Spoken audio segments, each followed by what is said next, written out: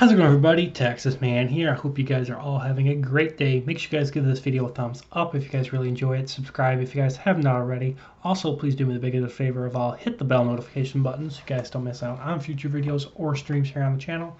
Also, if you guys would please head over to Twitch, follow me there at Douglas447. I stream there at least once a week, whether it's for Call of Duty, Battlefield, Halo, Destiny 2, or anything else you guys suggest for me to stream over there. And as always, if you guys have any movies or shows you guys want me to watch and review here on the channel, please let me know in the comments section down below. And as always, we're going to be talking about positives and negatives, talking about the brand new DC comic animated movie Injustice that came out here in 2021.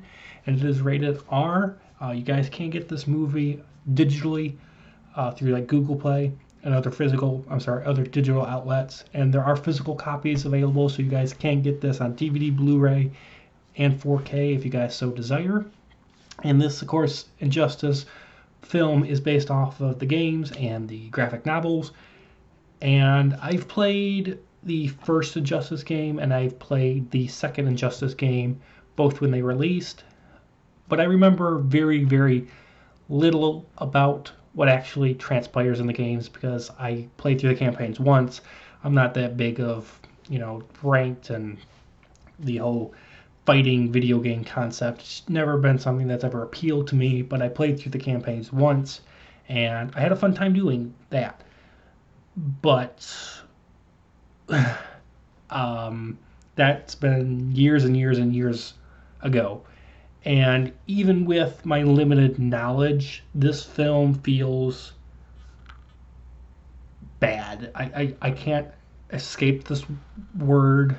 It's a bad movie and it feels rushed. This movie is only 78 minutes long.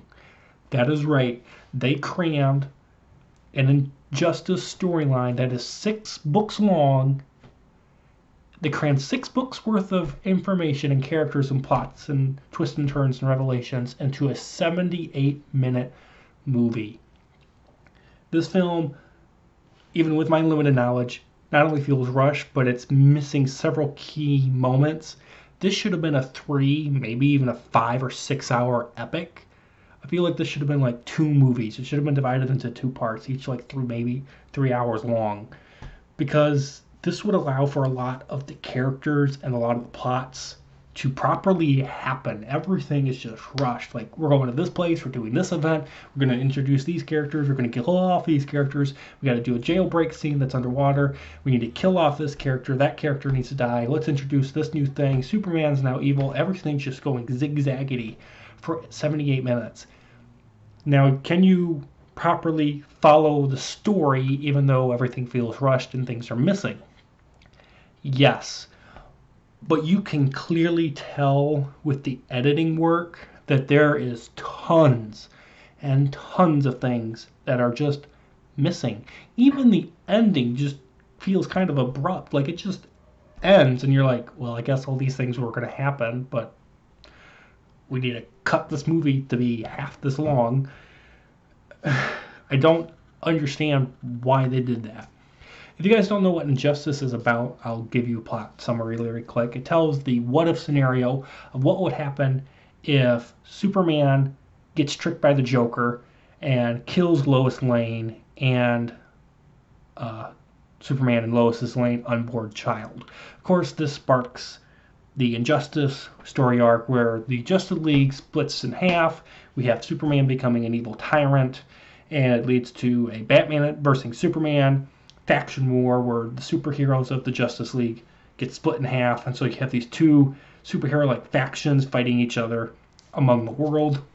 I guess the best way to explain it would be uh, Marvel's Captain America: Civil War, but on a much larger scale because this film deals with the multiverse as well.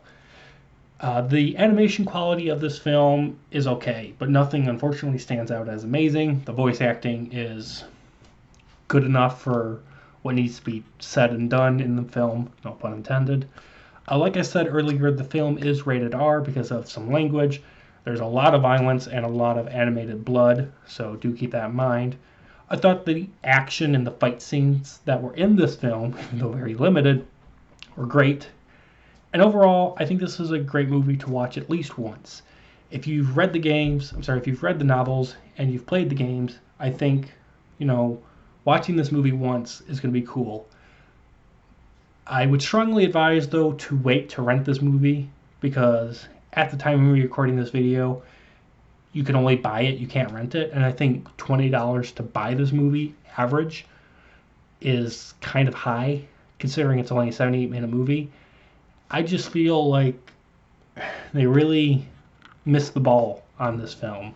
This should have been a three to six hour epic movie to properly tell the story of the characters and the plots and make it where everything is coherent and things aren't missing and not rushed. So, with that, guys, I'm going to give Injustice from 2021 a 5 out of 10. Watch it once if you guys are interested, but it's something, unfortunately, that's going to be very easily forgettable. So, 5 out of 10 for Injustice. Thank you guys so much for watching. You guys have a great day. I'll see you guys next video or stream. Bye, guys.